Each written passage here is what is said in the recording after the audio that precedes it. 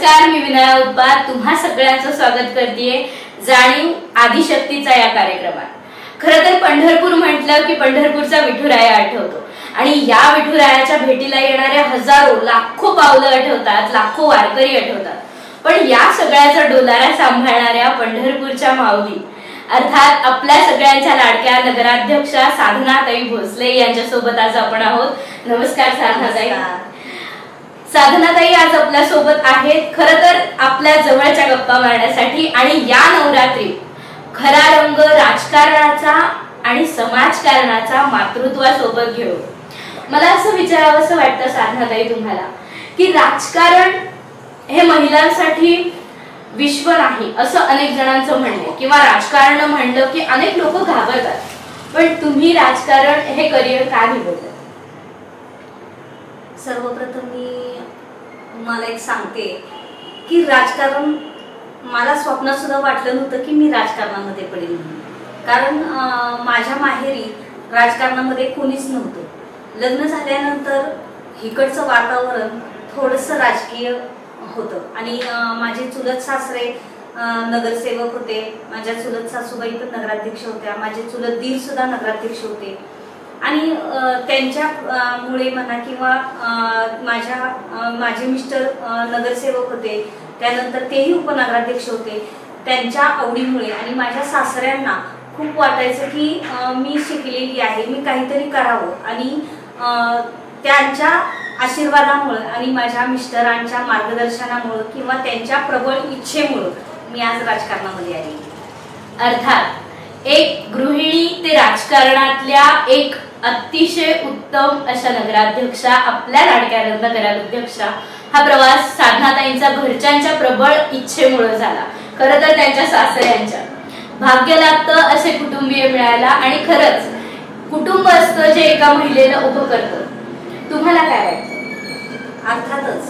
कुठलीही महिला ज्या वेळेला उमरा ओरडती त्यावेळेला तिला तिच्या कुटुंबातल्या सर्वांचा आधी विश्वास तिच्यावर असणं खूप महत्वाचं असतं. कारण बाहेर समाजामध्ये वावरताना अनेक आपल्याकडं वेगवेगळ्या दृष्टिकोनातून बघतात. तुम्ही एक महिला आहेत तुलाही अनुभव येतच असतील आणि हे जे माझे सासरे असतील दीर असतील किंवा माझे मिस्टर असतील त्यांनाही माहिती आहे की बाहेर समाजात वावरणं एवढी सोधी सोपी गोष्ट नाहीये. पण सासऱ्यांच्या मार्गदर्शनात झा माझे सासरे लवकर गेले पण त्यांची पण इच्छा होतीच की मी काहीतरी करावं. पण माझ्या मिस्टरांनी नगरसेवक म्हणून बरेच वर्ष काम केलेलं आहे. न उपनगराध्यक्ष म्हणूनही काम केलेलं आहे.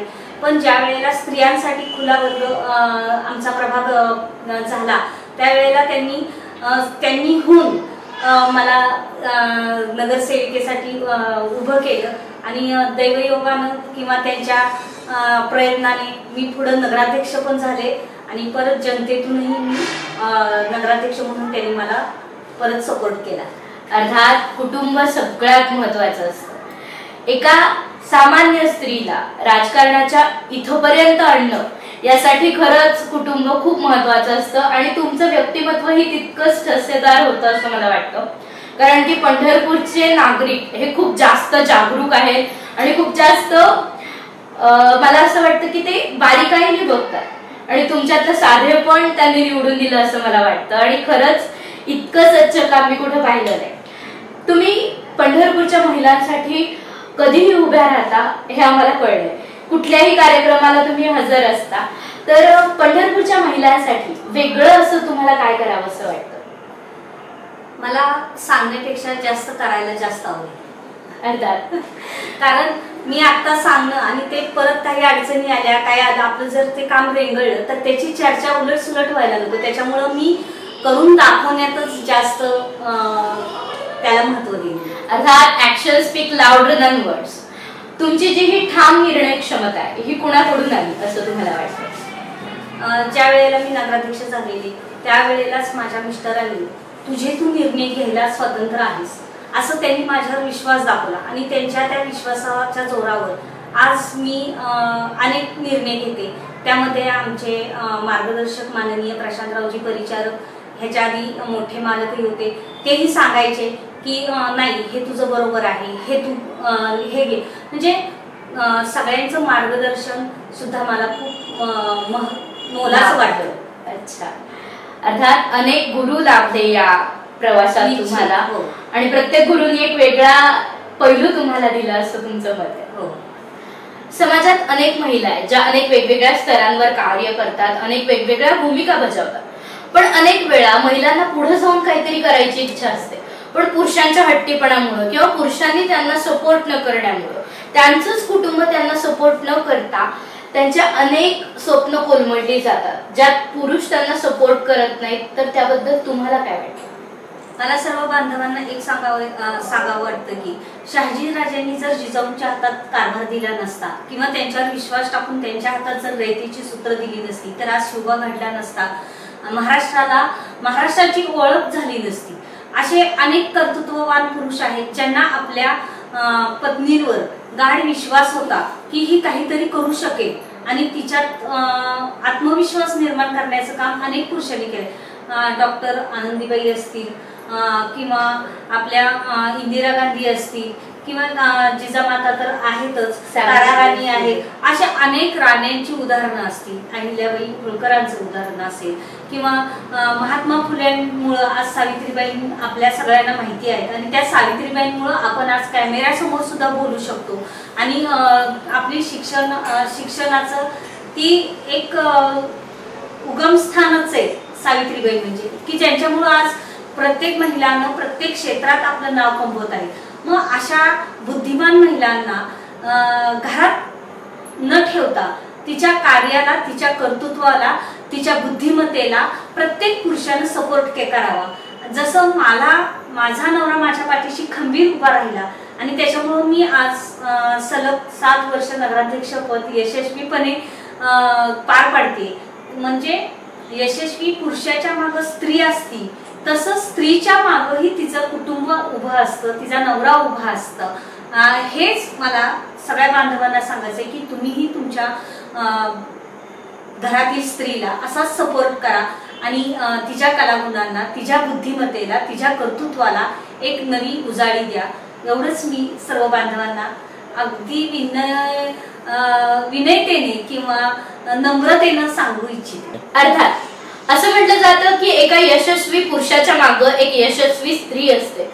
पण हे म्हणायला काहीच हरकत नाही. याचं जिवंत उदाहरण आपल्यासमोर आहे की एका यशस्वी स्त्रीच्या मागं एक पुरुष असतो. त्यांच्या कुटुंबियांनी त्यांच्या मिस्टरांनी त्यांच्या सासऱ्यांनी जर त्यांच्यावर हा विश्वास दाखवला नसता तर आज पंढरपुराच्या राजकारणाला असा पैलू कधीच मिळाला नसता आपल्या सगळ्यांच्या लाडक्या नगराध्यक्ष आपण अनेक कार्यक्रमांमध्ये बघतो राजकारणात त्यांचे ठाम मतं बघतो. पण या माग कुठेतरी एक साधना अशीही आहे जी साधी आहे सरळ आहे. तर तुमचं बालपण आणि शिक्षण याबद्दल तुम्ही काय सांगू शकाल? माझं बाल बालपण खूप निसर्गाच्या सानिध्यात गेलेलं आहे. माझं माहेर वैर आहे जे डोंगराच्या कुशीत लपलेले आहे सह्याद्रीच्या पर्वतरांगामध्ये माझं एक छोटंसं गाव आहे. आणि खूप साधेपणानं माझं बालपण गेलेले आहे. कारण माझ्या घरची परिस्थिती एवढी काही श्रीमंत नव्हती. माझे वडील साधे एस टी कंडक्टर होते.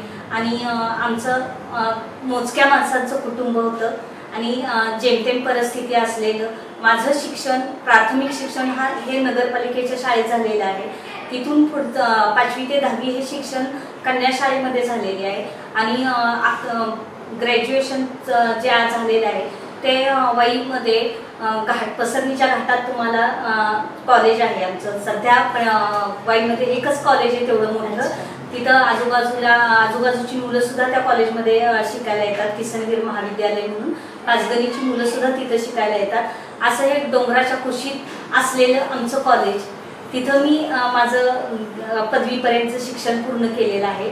आणि सर्वसामान्यप्रमाणे माझंही शिक्षण बी एपर्यंत झालेलं आहे अच्छा तरी पण या शिक्षणासोबतच तुम्हाला दुसऱ्या कशाची आवड आहे? तुमचा छंद म्हणून तुम्ही काय जोपासता मला चित्रकलेची आवड आहे वाचनाची आवड आहे आणि खेळायची सुद्धा खूप आवड आहे. कारण आमच्या इथं तसं वातावरण होतं की तिथं काही अशी बंधनं वगैरे मला माझ्या आई वडिलांनी कधीच घातलेली नाही.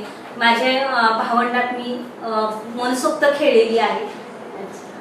अर्थात कुठेतरी एक ठाम स्त्री होण्याचं कारण हेही आहे की आई वडिलांनी दिलेला विश्वास आणि नंतर सासरकडूनही तुमच्यावर असलेला प्रचंड विश्वास. कारण एक स्त्री म्हणून जेव्हा राजकारणात तुम्ही पडलात तेव्हा घरच्यांचा असणारा विश्वास खूप जास्त मोलाचा असतो. आणि घरच्यांच्या विश्वासामुळे तर आहेच. पण तुम्हाला राजकारणात यावं आणि तुमची ती प्रेरणा व्हावी अशी व्यक्ती होती तशा व्यक्ती जर समोर आणायचं म्हटलं तर खूप असतात. पण मला राजकारणात येण्याची प्रेरणा माझ्या सासऱ्यांमुळं आणि माझ्या मिस्टरांमुळेच मिळालेली आहे. आणि त्यांचा वेळोवेळी सपोर्ट हाच मला खूप मोठा आधार वाटतो. अर्थात मिस्टरांचा विषय निघालाच आहे तर एक गोष्ट मला विचारावीशी वाटते. पंढरपुरातले लाडकं व्यक्तिमत्व म्हणजे नागेश भोसले. प्रत्येक गोष्टीत नागेश भोसले सर असतातच पण त्यांचं एक खास गोष्ट अशी आहे की कुठल्याही कलाकाराला कुठल्याही खेळाडूला त्यांच्या स्टार्टअपमध्ये मदत करतात ते. आणि कायम जिथे कलाकारांचा कार्यक्रम आहे आणि जिथे खेळाडूंचा कार्यक्रम आहे तिथं ते उपस्थित असतात. तर त्यांच्या या कलागुणांची आवड असण्याबद्दल तुमचं काय मत आहे? ते स्वतः कलाप्रेमी आहेत.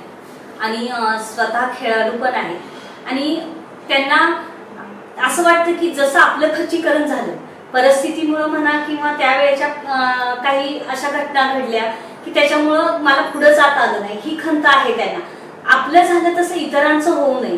की कुठल्या छोट्या मोठ्या गोष्टीमुळं त्याला माघार घेऊ लागू नये. ह्या दृष्टिकोनातून त्यांनी प्रत्येकाला सहकार्याची भावना ठेवतात. आणि त्यांना आवडतं. कोणालाही आपल्या सपोर्टमुळे जर एखादा पुढे जात असेल तर त्यांना त्या व्यक्तीला मदत करायला खूप आवडतं. अर्थात तुमच्या इच्छेने कुठल्या कला प्रकारात किंवा कुठले खेळ पंढरपुरात अजून रुजायला हवेत अशी तुमची इच्छा आहे? सध्या क्रिकेटचं तर पंढरपूरमध्ये खूप मोठं वारं आहे. फक्त मुलींसाठी क्रिकेटचं चालू व्हावं आणि बॅडमिंटन वगैरे असे अनेक प्रकार आहेत. जिथं आपल्या मुली अजून बाहेर पडत नाहीत आणि खेळत नाहीत. ठराविक एक दोन घरातल्या मुली असतील ज्या पुढे जाऊन लांबपर्यंत जाऊन आलेले आहेत. पण मुलींना ज्या ज्यामध्ये आवड आहे ते ते खेळ मुलींना खेळू द्यावे असं मलाही वाटतं. अर्थात राजकारणाचे पैलू पाडता पाडता एक महत्त्वाचा आणि मुलाचा संस्कार तुम्ही करताय आमच्या सगळ्यांवर की खेळांमध्ये पण मुली असल्या पाहिजेत. अनेक ठिकाणी मुली कुठेतरी खेळात कमी दिसून येतात म्हणजे रुरल एरियाजमध्ये की त्यांना सपोर्ट कमी मिळतो. तर हेही आपल्या इथं सुरू व्हावं. आणि जर कोणी सुरू करणार असेल तर नक्कीच आपल्या सगळ्यांचा त्यांना पाठिंबा असेल. खर खरं तर प्रत्येक माणसात एक आपला असा माणूस असतो. म्हणजे राजकारण समाजकारण याही पलीकडे एक साधन आहे. तर त्या साधनांना कुठेतरी डिजिटल मीडिया किंवा त्यांना कुठेतरी चित्रपट वगैरे आवडतात का? मला चित्रपट आवडतात पण अलीकडचे पिक्चर बघण्यापेक्षा मला जुन्या काळातील पिक्चर जास्त बघायला आवडतात. अर्थात? आणि त्याचबरोबर मला असा प्रश्न पडतो की अनेक लोकांना संगीताची आवड आहे. तर तुम्ही तुमच्या फावल्या वेळात ऐकता का गाणी? हो. जुने सॉन्ग मला खूप आवडतात. अर्थात जुनी हिंदी का मराठी? हिंदी पण मराठी पण दोन्ही गाणी मी ऐकते. अच्छा दोन्ही प्रकारची. जुनं ते सोनं म्हणत तुम्ही आनंददायी जीवन जगताय हे खरं आहे पण याचबरोबर मला अजून एक प्रश्न असा विचारावा वाटतो. जी व्यक्ती आम्ही सगळे एक आदिशक्ती म्हणून पुजतो अर्थात पंढरपूरचं एवढं मोठं नेतृत्व तुम्ही आहेत असं म्हटलं जातं की पंढरपूरचा मायेचा आणि आईचा पदर जर कोणी असेल तर साधनाताई भोसले. तर तुमच्यासाठी हा मायेचा आदराचा पदर कोण आहे?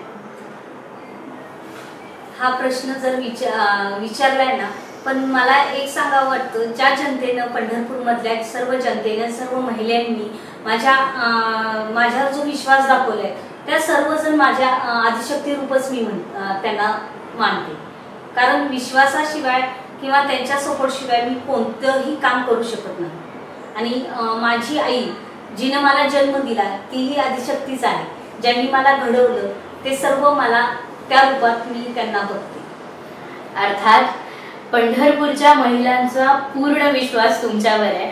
आणि ज्यांनी तुम्हाला घडवलं खरं तर आमचाही त्यांना मनापासून नमस्कार. कारण इतक्या सुंदर व्यक्तीला घडवलं त्यांनी आणि पंढरपूरचं भविष्य आज तुमच्या हातात आहे. अजून एक मला प्रश्न असा विचारावासा वाटतो की अनेकदा अनेक मुलींचे बरेचसे प्रॉब्लेम्स असतात की त्यांना त्यांचं करिअर घडवण्यासाठी त्यांच्या लाईफमध्ये लग्नानंतर ते होऊ शकत नाही असं वाटतं. तर तुम्ही त्या मुलींना काय सांगू इच्छिता? जिद्द असेल ना तर लग्नानंतरही व्यक्ती जिच्या मनात असेल की मला नाही ते अधिकारी व्हायचंय मला हे व्हायचंय. तिची जर प्रखर इच्छा आणि जिद्द असेल आणि कष्ट करण्याची तयारी असेल तर ती लग्नानंतर सुद्धा खूप कॅरियर करू शकते. कारण आपण आता ज्या आता मध्यंतरी ज्या सगळ्या महिला एक वेगवेगळ्या क्लासवन अधिकारी झालेल्या आहेत तुम्ही तू बघशील त्याच्यामध्ये अनेक महिला ह्या विवाहित आहेत. आणि लग्न झाल्यानंतर सुद्धा सात आठ वर्षानंतर त्या आज ह्या क्लास वन च्या पोस्टला आलेल्या आहेत. ते त्यांच्या जिद्दीमुळं त्यांच्या घरच्या सपोर्टमुळं आणि त्यांच्या कष्टामुळंच ते आज यशस्वी जीवन जगतात. मला आज नाही वाटत की अलीकडच्या जगामध्ये कुणी कोणाला रोखू शकतो. कारण जर व्यक्- एखाद्याची बुद्धी जर तीव्र असेल किंवा त्याची जर जिद्द प्रखर असेल तर सासरची लोकही त्यांना सपोर्ट करतात. घरात डांबून ठेवून एखाद्याची बुद्धी गंज चढून देणारी आत्ताची संस्कृती नाही असं मला तरी वाटतं. अर्थात तुमच्यात जिद्द असेल तर तुम्ही काहीही करू शकता. कुठलीही परिस्थिती असो पण परिस्थितीतलं तुमचा निर्णय सगळ्यात महत्त्वाचा असं साधनाताईंचं मत आहे. यात मला अजून एक असं वाटतं की प्रत्येकीने प्रत्येकीचा जरी निर्णय घेतला तरी त्यांना रोखू शकणार किंवा त्यांना अडवू शकणारे असे बरेच लोक आहेत. आणि सध्याही अनेक गोष्टी समाजात चालू आहेत. अजूनही अनेक बालविवाह होतात अनेक महिलांचे छळ होत आहेत. तर त्या महिलांना तुम्ही काय सांगू इच्छिता? बरेच आपण रामायण वाचलं महाभारत वाचलं. त्याच्यामध्ये स्त्रीमुळं रामायण घडलं स्त्रीमुळं महाभारत घडलं. असं सांगितलं जातं. प्रत्येक गोष्टीला स्त्रीला कारणीभूत धरलं जातं.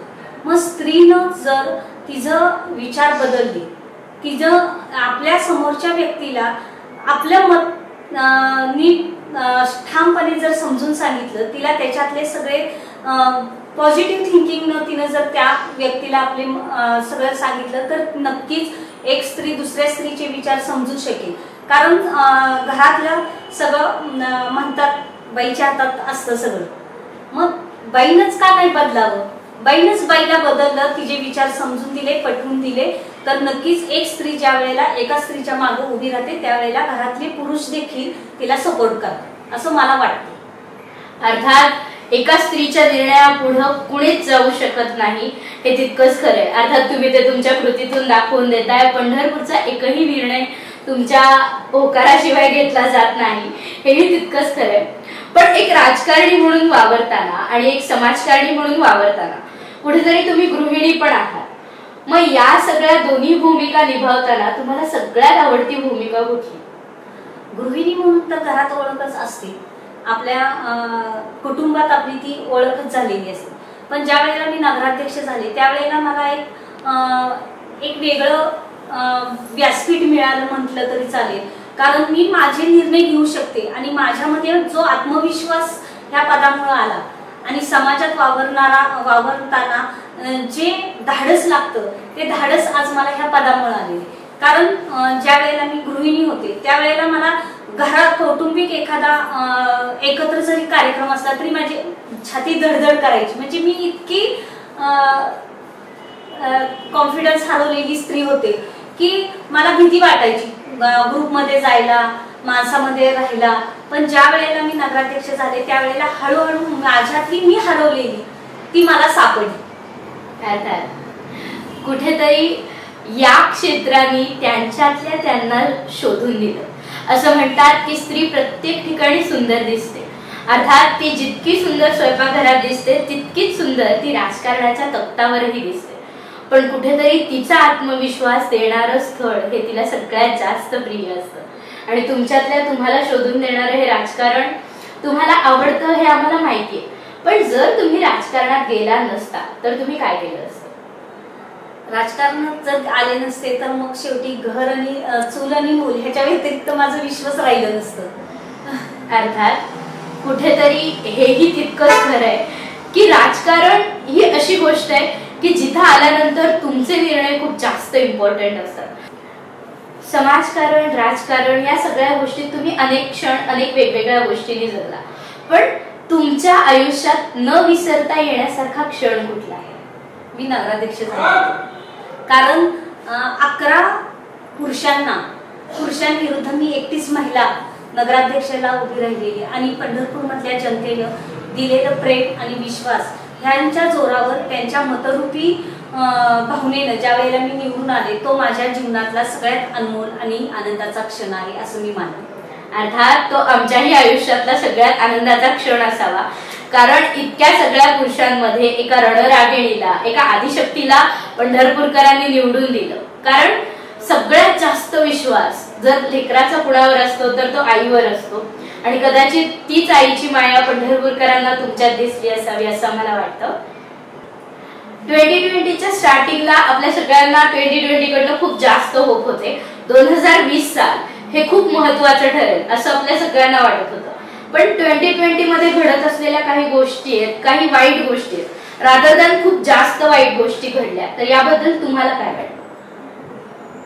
मान्य ट्वेंटी आलं कोरोना आला. कोरोना नंतर निसर्गाचं वादळ झाली पाऊस झाला पूर आला. खूप संकट ह्या वर्षामध्ये आली. पण एकाच नाण्याला दोन बाजू असतात. आपण ज्या चेष्म्यातून चष्म्यातून बघू तसं आपल्याला दिसतं. काही गोष्टी कोरोना आला. करोना जरी आला तरी त्या करोनानं माणसांना खूप काही शिकवून गेला. जो माणसाचा माणसातला माणूस हरवलेला होता तो माणूस आज आपल्याला बघायला मिळतो आहे. कुटुंबातून हरवलेला माणूस तो सुद्धा आता कुटुंबात आहे. म्हणजे एका नाण्याला दोन बाजू असतात मी ह्याच्यासाठी म्हणते की काही चांगल्या गोष्टी आपण जर चांगल्या दृष्टिकोनातून बघितलं ना तर चांगल्या गोष्टी पण खूप काही घडलेल्या आहेत आणि कोरोना आपल्याला खूप काही चांगलंही शिकून गेलेलं आहे. माणसाला जास्त महत्त्व आहे पैशाला कमी महत्त्व आहे. आणि पण ह्या कोरोनामुळं काही अनमोल अशी जी मा आपली माणसं होती ती सुद्धा बरीच जण आपल्याला ह्या काळात सोडून गेली गेली आहे. ही एक दुःखाची बाजू जरी असली तरी शेवटी निसर्ग आहे आणि येणाऱ्या महामारीमुळं आपण मात करू शकतो तेवढी केलेली आहे. आणि ज्यांना आपण धीर देऊ शकतो तोही दिलेला आहे. पण संकट हे नुसतं कोरोनाचंच आलेलं नाहीये ह्या ह्याच्यामध्ये. तर आपल्या बघता आता नुकतंच पंढरपूरमध्ये पूरही येऊन गेलेला आहे. आणि एक दुर्घटना तर अशी घडली की एकाच कुटुंबातील सहा व्यक्ती चार व्यक्ती गेलेले आहेत दोन बाहेरच्या व्यक्ती. जे व्हायला नको आहे ते नकळत घडून गेलेलं आहे. आणि ह्या मुळे ना मा- मन हेलावून जाणाऱ्या ह्या ज्या घटना घडलेल्या आहेत त्या कायम मनावर काहीतरी कोरून गेलेल्या आहेत. अर्थात ट्वेंटी ट्वेंटीच्या काळात अनेक वाईट गोष्टी घडल्या काही अशा पोकळे निर्माण झाल्या ज्या कधीच भरून येणार नाही आत्ताच पुरही येऊन गेला आणि पुरात अनेक जणांचं अनेक नुकसान झालं. त्याचबरोबर कुंभार घाटाची जी भिंत कोसळली त्याबद्दल तुम्हाला काय वाटतं? कुंभार घाटाची शासनाने त्यांना मदत जाहीर केली. कुटुंबियांना खूप दिलासा दिला. पण पैशानं मनुष्यहानी भरून निघत नाही. ते जी काही त्याच्यात चुका होत्या जे काही कमीपणा होता त्या अधिकाऱ्यांवरही शासनानं कठोर कारवाईची मागणी केलेली आहे. कारण तो घाट हा नवीन बांधलेला होता आणि नवीन बांधकामाची जर अशी पडझड झाली तर ह्या घटना निश्चितच आपल्या सगळ्या व्यवस्थेला काळीमा फसणारे आहेत. आणि ह्या अशा घटना घडू नये याची दखल सर्व वरिष्ठ अधिकाऱ्यांनी घ्यावी. अर्थात कुठेतरी काळजी आपण सगळ्यांनीच घ्यायची. कारण ट्वेंटी ट्वेंटी हा काळ असा आहे की जसं तुम्ही म्हटलाय की माणसातला माणूसही सापडत जातो आणि काही माणसं अशी निघून जातात जी कधीच सापडत नाही. अर्थात इतक्या सगळ्या वाईट गोष्टी घडल्या मान्य आहे. पण मला अजूनही कसं वाटतं की पंढरपूर ही संतांची भूमी आहे. पंढरपूरमध्ये अनेक गोष्टी आहेत. पंढरपूर सारखा माहेर पण जगात कुणी देऊ शकत नाही असं म्हणतात. पंढरपुरात अनेक संत नाचले अनेक संत खेळले अनेक गोष्टी घडल्या. अगदी पंढरपूर म्हणजे अनेक गोष्टींचं माहेर पण असं म्हटलं जातं.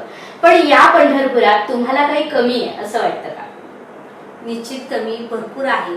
कारण आपल्या पंढरपूरमध्ये आपली जी युवा पिढी आहे ती बरीचशी वारीवर अवलंबून असते. आणि इतर वेळेला ती पिढी नुसती बेकारी मात्यांना खूप खायला उठती. अशा वेळेला पंढरपूरमध्ये एम आय डी सी असावी असं मला प्र प्रकर्षानं जाणवतो. की जेणेकरून अनेक बेरोजगार महिला असतील तरुण मुलं असतील अनेक बेरोजगारांना तिथं एक आपल्या कामातला संधी मिळावी रोजगार मिळावा असं मला मनापासून वाटतं. अर्थात पंढरपुरात एम आय डी सी असावी हा खरंच खूप एक आशेचा किरण आहे. आणि असं जर झालं तर खूप छान होईल. कारण की आपल्या सगळ्यांनाच माहिती आहे. अर्थात दमा विराजदारांनी त्यांच्या पुस्तकातही सुंदर वर्णन केलंय पंढरपुराचं की चार महिने पंढरपूर काम करतं वारी पुरतं. आणि त्याच्यानंतर पुन्हा एकदा पंढरपूर झोपी जातं. असं त्यांनी हास्यास्पद केलंय पण कुठेतरी सिरियसली कुठेतरी गांभीर्याने विचार करणं गरजेचं आहे याही गोष्टीचा की एम आय डी सी असावी आणि अनेक उद्योजक तयार व्हावेत पंढरपुरात हेही तितकंच महत्वाचं आहे. असं तुम्हाला वाटतं का? हो नक्कीच वाटतं. आणि आपल्या पंढर दुसरं एक सांगायचं म्हणजे आपल्या पंढरपुरातील बरीचशी मुलं त्यांच्या अंगात काहीही कला असतील. कोणाला कला क्षेत्रात नाव कमवायचं असतं कोणाला गायनामध्ये कमवायचं असतं असं कोणाला चित्रकलेमध्ये कमवायचं असतं असे वेगवेगळे क्लासेस असतात जे आपल्या इथं अवेलेबल नाही आणि त्यासाठी मुलं खास करून पुण्यामध्ये जातात. त्या सर्व मुलांना इथं हक्काचं व्यासपीठ मिळावं एक कलामंच मिळावा एवढी मला अपेक्षा आहे. आणि पंढरपूरमध्ये तसे बरेच क्लास आहेत पण मुलांना जे पुण्यामध्ये ज्ञान मिळतं की तिथं ते आवर्जून जातात. का जातात? तर इथं त्यांना ते कमी पडतं. इथं कुठंतरी आपण कमी आहे. मग ते M P S U P एसचे क्लास असतील किंवा त्याच्या पुढच्या क्लासची तयारी त्यांना करायची असेल तर ते आवर्जून पुण्यात जातात. मग तिथं ते नुसते खोली घेऊन राहतात. आणि नुसत्या नुसते क्लाससाठी तिथं जाऊन राहतात. इतर वेळेला त्यांना मग अशा मुलांसाठी पंढरपूरमध्ये सुद्धा योग्य प्रकारे त्यांना मार्गदर्शन मिळावं त्याचे क्लास मिळावे ह्याच्यासाठी इथं काहीतरी शैक्षणिक असं काहीतरी दालन उभं केलं पाहिजे जेणेकरून तिथं मुलांना त्याचा सगळ्या म्हणजे जिथं पुण्याला मिळ जे पुण्याला मिळते ते आपल्या इथंच मिळावं. आपली मुलं आपल्या डोळ्यासमोर शिक्षण घ्यावी असंही मला वाटतं. अर्थात कुठेतरी सरस्वतीच्या रूपाने तुम्ही ज्ञानच बहाल करताय असं मला वाटतं की पंढरपुरात खऱ्या अर्थाने असं काहीतरी सुरू व्हावं जिथून आपल्याला क्वालिटी नॉलेज मिळेल. मिळतंय ज्ञान मिळत नाही असं नाहीये. अनेक क्लासेस आहेत अनेक ठिकाणी शिकवलं जात आहेत वेगवेगळ्या कला पण जे कला जी त्यातली खोली आहे ती कुठेतरी निर्माण व्हावी. अर्थात उंची. उंची निर्माण व्हावी अशी तुमची इच्छा आहे. आणि ती नक्कीच होईल अशी आपण अपेक्षा करूयात. कुणीही असू देत कुठलेही कलाकार असू देत तुम्हाला कुठलीही पाठिंब्याची गरज असू देत आम्ही सगळे सर्वस्वी तुमच्यासोबत आहोत. कारण की पंढरपुरातली लोक आपल्यासोबत राहावी अर्थात त्यांचं असं मत आहे की त्यांची लेकरं त्यांच्या नजरेसमोर शिकावी तर याहीसाठी आपण नक्कीच प्रयत्न करूयात. खर तर नवरात्रीचा उत्सव चालू आहे. एका स्त्रीला देवीप्रमाणे पूजलं जातं. पण ही स्त्री धडाडीने स्वतःच्या आयुष्यात काहीतरी करायला जाते. आणि या सर्व स्त्रियांबद्दल तुम्हाला काय वाटतं? मला स्त्रियांबद्दल खूप खूप विश्वास वाटतो. कारण अं, सैरभैर होते कोलमडते तरीही धीरानं उभी राहते. ती फक्त स्त्रीच उभी राहते. का तर तिच्या घरातल्या कुटुंबासाठी मुलांसाठी तिला खंबीरपणे उभं राहावंच लागतं. तुम्ही बघताल अनेक असे प्रसंग येतात की पुरुष हतबल होतात बरेचसे पुरुष आत्महत्या करतात. अशा वेळेला ती स्त्री आत्महत्या करत नाही. ती परत खंबीरपणे उभी राहते का तर तिला काळजी असते आपल्या पाखरांची. आणि अशा वेळेला ती खंबीर स्त्री ज्या वेळेला उभी राहते त्यावेळेला तिच्यात नऊ शक देवींचं बळ तिच्यात आलेलं असतं. आणि अशा स्त्रियांना ह्या नवरात्रीमध्ये मला एवढंच सांगायचंय की जो खंबीरपणा तिच्यात आहे तो खंबीरपणा तसाच कायम देवीनं त्यांच्यात बहाल करावा आणि त्यांना सर्व परिस्थितीशी झगड झगडण्याची उमेद द्यावी आणि तिच्या स्वतःच्या शक्तीचा एक प्रकारे वास द्यावा आशीर्वाद द्यावा एवढंच मला म्हणावंसं वाटतं. अर्थात खूपच सुंदर सांगितलंय की कुठलीही स्त्री कधीच कोलमडत नाही. आणि कोलमडली तरी ती पुन्हा रुजते. हे रुजण्याचं बळ फक्त स्त्रीमध्ये असतं.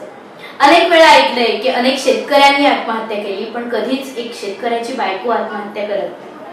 हेच खरं. या सगळ्या नारी शक्ती सोबतच तुमच्यातही एका शक्तीचा वास होतो. अर्थात आम्ही तुम्हाला खऱ्या अर्थाने पंढरपुरात तर तुम्हाला देवी म्हणून पूजलं जातं. या सगळ्यात खरंच मनापासून सांगते कारण की अनेक मुलींच्या रादर दॅन मीही त्यात इन्क्ल्यूड आहे की तुमच्यातला साधेपणा आणि इतकं सगळं असूनही तो साधेपणा टिकवणं आणि टिकवत राहणं हे तुम्हाला कसं जमत? खूप अवघड प्रश्न आहे. मुळात मला साधं राहायलाच आवडतं. जगाच्या किंवा बाहेरच्या बाजारात वाहवत चालण्यासारखं मला मला वाटत नाही. कारण तुम्ही लता मंगेशकर बघताल आता तुम्ही ह्यांचं उदाहरण घेताल. अं, बऱ्याच राजकारणात पण स्त्रिया आहेत. आणि खूप होऊनही गेलेल्या आहेत. प्रत्येक क्षेत्रामध्ये स्त्री आज काम करते आहे. पण ज्या वेळेला स्त्री बाहेर पडती त्यावेळेला प्रत्येक वेळेला तिच्या तिच्याकडनं एखादं पद आलं म्हणून तिनं ते त्याचा गैरवापर करून आपल्या वागण्यात बदल घडावा असं मला नाही वाटत. त्यानं काही फरक पडत नाही. आपण आहे असं राहावा आणि तसंच काम करत क- राहावा. तरच तुमची एक वेगळी इमेज आहे ती तशीच ठेवा. मला वाटत नाही की त्याच्यासाठी वेगळी इमेज तुम्ही तुम्हाला तयार सुद्धा मूर्तींचं सुद्धा तुम्ही बघत असाल. त्या सुद्धा किती साध्या आहेत पण विचार तेवढे थोर ठेवा. विचारानं आणि मनानं आणि बुद्धीनं तुम्ही तुमची ओळख निर्माण करा. नाही तुमच्या राहणीमानावर तुमची ओळख नसती तर तुमच्या विचारावर आणि तुमच्या बुद्धिमत्तेवर तुमची ओळख निर्माण होती. अर्थात तुमच्या विचारांवर आणि बुद्धिमत्तेवर तुमची ओळख निर्माण होते. या सगळ्यात मुलाच्या सल्ल्यावर खरं तर बोलायचं खूप आहे सांगायचंही खूप आहे.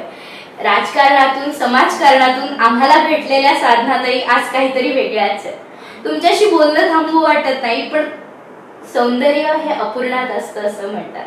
आणि काही क्षण थांबण्यासाठीच असतात. हा स्वल्पविराम म्हणेन मी अगोदर. पण तुमच्याशी बोलून खरंच खूप छान वाटलं. अर्थात हा संवाद थांबत नाहीये तर हा स्वल्पविराम आहे. पण यातच खरं सांगायला गेलं तर आम्ही मॅनेजमेंट खूप छान केली. पण तुम्हाला येताना काय आणावं याचा खूप जास्त विचार केला. की एका राजकारण्याला एका समाजकारण्याला एका गृहिणीला आणि एका उत्कृष्ट स्त्रीला आम्ही काय देऊ शकतो? असं काय असेल जे आम्ही तुम्हाला द्यावं? तर मनात आलं की काही कोरी पानं जी तुम्ही स्वतःच्या अस्तित्वाने भराल स्वतःच्या अनुभवाने भराल यासाठी मनविभोरकडून एक छोटीशी डायरी आणि त्याचबरोबर सन्मानपत्र आम्ही तुम्हाला गिफ्ट करतोय.